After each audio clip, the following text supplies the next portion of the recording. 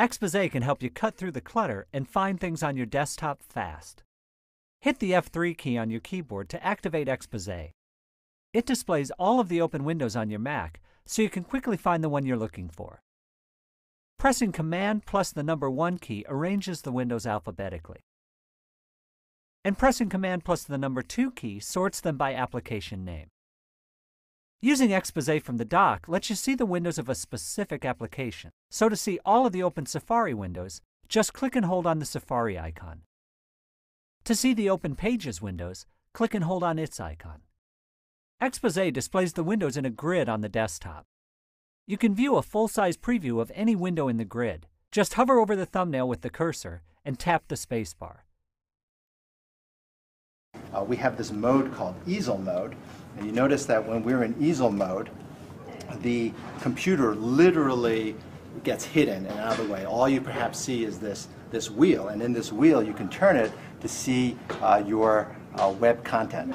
Um, um, Software-wise, when you look at our operating system, uh, you'll see that we eliminate all menus, icons, and folders. So all you have is your, is your web content. To navigate between open windows, you may use shortcuts and mouse gestures, or you can zoom out into overview mode. Chrome OS also supports the concept of sidebars. If you don't want your panels to overlap your content, you may easily drag and dock them to either side of the screen.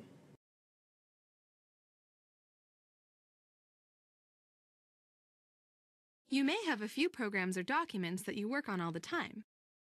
With your favorite documents or even your favorite playlist always just a right click away, it's really easy to do what you need to, right from the bottom of your screen. You can also see an actual image of the document and choose the one you're looking for instead of choosing from a list of names. Say you have many windows open on your desktop, but there's one you really want to focus on. You can simply shake that window back and forth and make the other windows just disappear. If you want them all back again, just shake again and your desktop looks the same as before.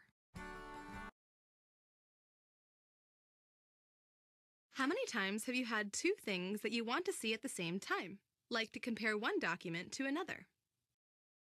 You used to be able to see windows next to each other, but you had to resize each window and move them around a bit.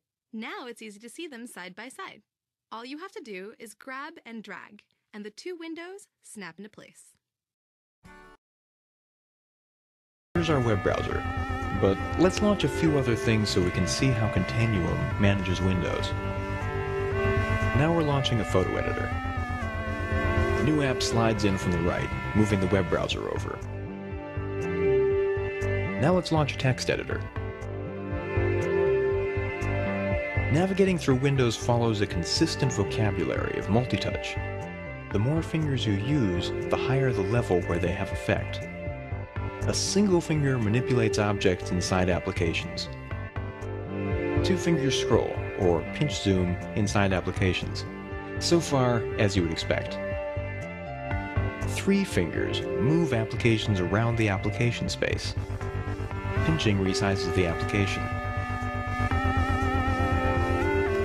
Four fingers scroll the application space. Pinching zooms the entire application space. You can use both hands too. For instance, you can zoom and scroll the application space with one hand while relocating a window with the other.